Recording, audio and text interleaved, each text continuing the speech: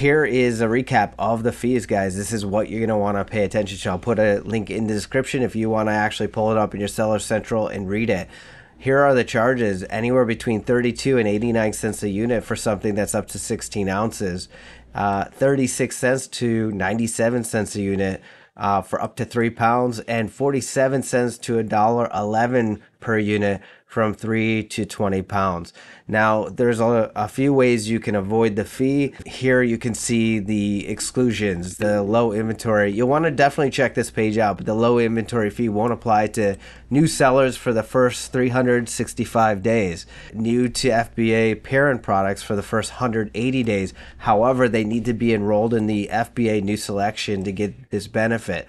And products that are auto replenished by Amazon Warehouse and Distribution, AWD. So Amazon's really pumping the AWD both with the ability to avoid the placement fee that just went into effect and the uh, the ability to avoid this low inventory fee. So where does this leave you? So these are the charges you need to pay attention to this fee. And where do you pay attention to your low inventory issues? Well, you go to Seller Central, you go to this little um, hamburger sign, right? And you click on it, go to inventory, and then go to click on FBA inventory. This is where you need to go to see what products you're having issues with.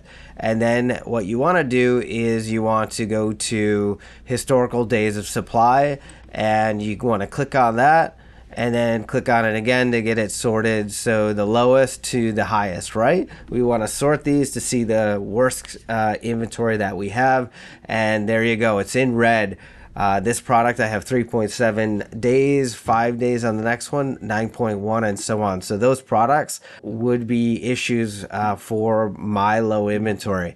Now, uh, on this particular account, I'm running I don't know, two, 300 SKUs. So there's about 10 to 15 products that have this fee. Where I can see this really adversely affecting sellers are OA sellers, RA sellers potentially, uh, and those sellers that have monster catalogs uh, that don't really have really good systems to maintain the inventory levels. But this is really, really going to hurt if uh, if you don't have your system uh, set up in your business to make sure you're maintaining inventory.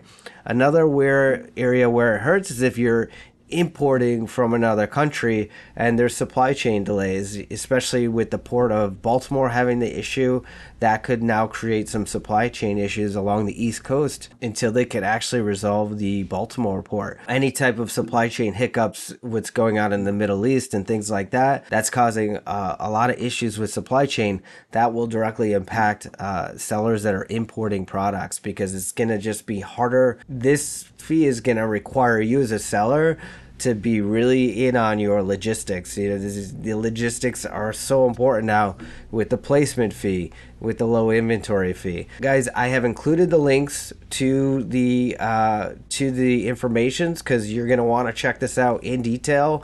And uh, I'm sure you're aware with your own business how this is going to affect it.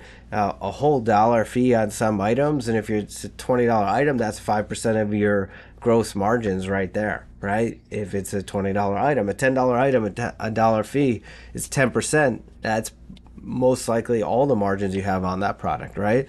So it's going to change the game with how you sell certain items, right? Thanks for joining me. I appreciate you watching. Please subscribe to the channel. I'll see you next time.